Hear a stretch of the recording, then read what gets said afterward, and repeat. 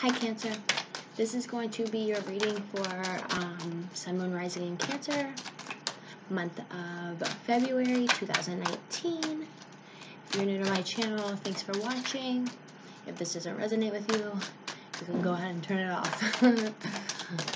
mm, okay, so let's get started. This feels heavy. Oh. Ooh. So, new opportunities, which are going to bring you mm, emotional, like they're going to bring you emotional happiness, but it might not be on a humongous scale. It might be a little bit, or you might not necessarily like this new opportunity. It might be something that has your emotions twisted. Like you might be feeling like this opportunity and then it's got you a little confused. It's got your emotions fucked up. You don't know what this person is all about. Then we have, ooh, ooh.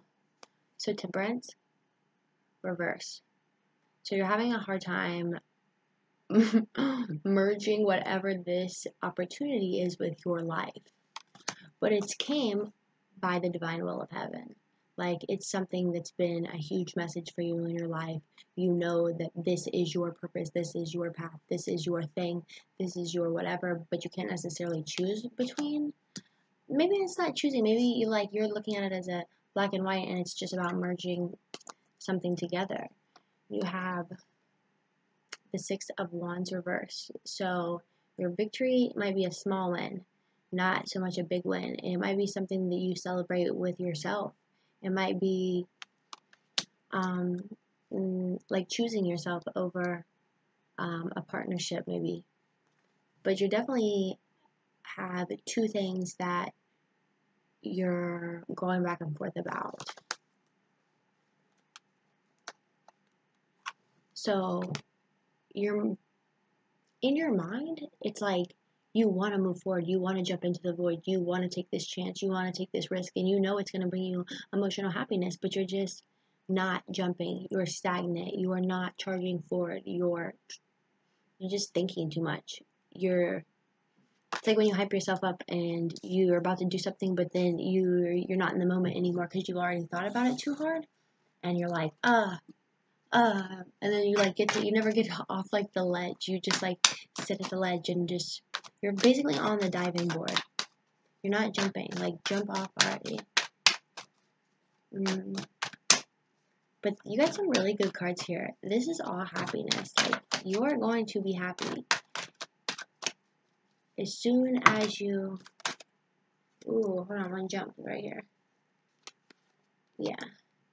So, the battle is over. And you've been beaten up pretty badly, but you're still alive. Like, did you die? Like, that's what I'm hearing. You didn't die. You just had to work really hard.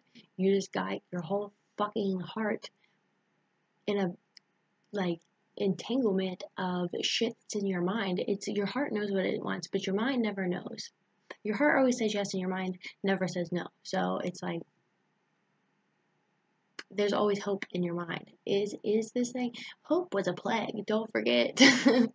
hope was the last thing left on Pandora's box. That was a plague. So it's like, mm, are you plagued with this idea that things could get better and you're not accepting people for who they are because you can't change them? The only person that can change them is God or they're themselves. They gotta want to change. So why are you going back and forth on your heart and then watching this like you're basically for me this is like you're not taking care of yourself, you're not following your passion, you're not following your dreams, you're not going to work, you're not um, hustling, you're not doing whatever you do. It's like you're doing things on a much smaller scale than if you would have just bossed up on yourself. You could have went and did so much more. You know what I'm saying? It's like sometimes we put ourselves on hold and this this one is about the mind. Don't get this twisted. Swords are the mind. So what did you fuck up in your own mind that made your heart broken? And it was it something with your job? Was it something that you're creating? Was it something that you've been watching way too closely instead of enjoying instead of enjoying the ride? Because that could be it too.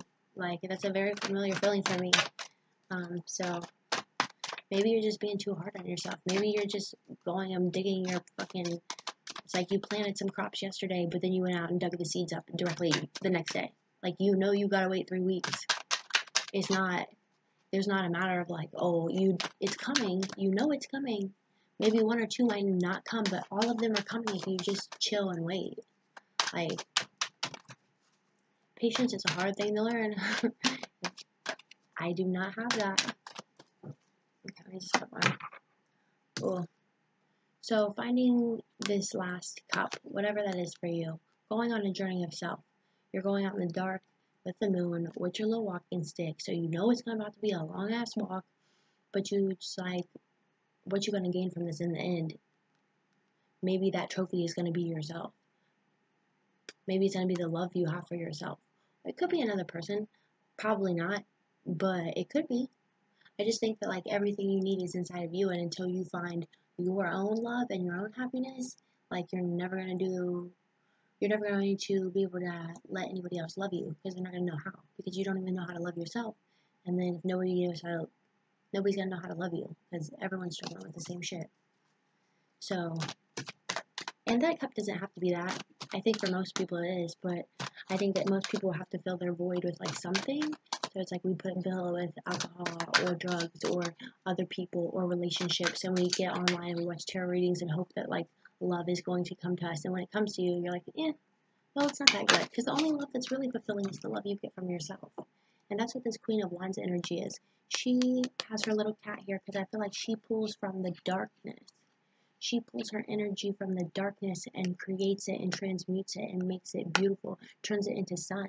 She takes the night and her she takes her pains, her dark places, and turns them into pleasures and suns and like sunflowers and creativity. And she, I, basically, I think of her as like a poet. I think of her as an artist. I think of this card as like a, a woman or man who is in their power and but in a feminine energy. It doesn't have to be a feminine person or a girl. It's just a feminine energy. It's being flowy and smooth and creative and loving and caring. But you got to understand that it all came from uh, being in a place of not being loving and caring and sweet and whatever. You only know how to do that because you've been in a place where you wasn't where that wasn't it. You know what I'm saying? It's like people treated you like shit, so you didn't feel the need that you don't want to treat other people like that kind of thing. It's like um like transmutation, like anything you want to transfer, all your pain turn into pleasure, all your darkness turn into light, all your hate turn into love, all your um, all your fucking um, mishaps or like failures, turn those into lessons. There's two ways to look at things. So you can look at it from the negative or you can look at it as a positive. And as long as you make everything positive and keep on going, you're always going to be in this Queen of Wands energy. So let me pull a couple from this Rebel Tarot.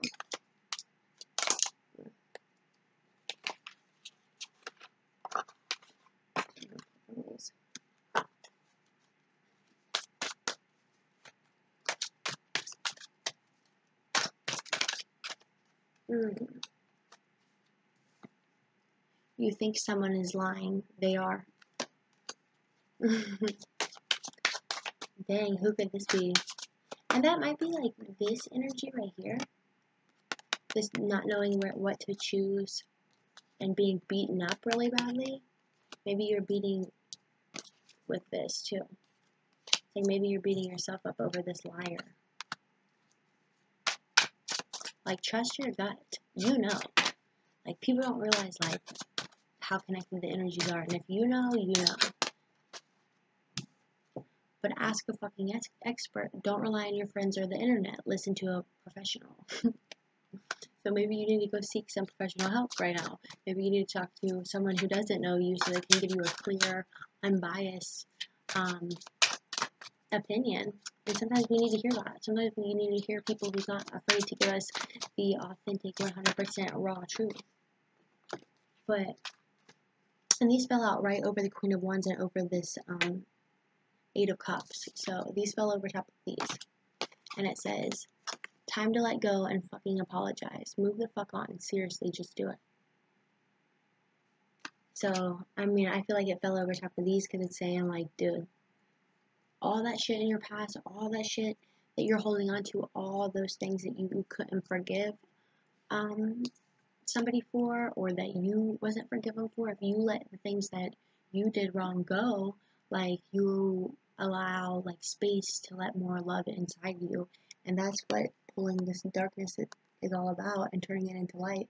And the more you forgive, the more people are willing to forgive you. That's just karma, period. So just let go of all the things that are making you sad and you'll have a great February. but love you guys. See you in March. I hope this helped. Check out my website, tylordesantis.com. Check out my artwork, my blog, whatever. And have a beautiful day, beautiful month, beautiful life. Don't forget to subscribe, share, comment.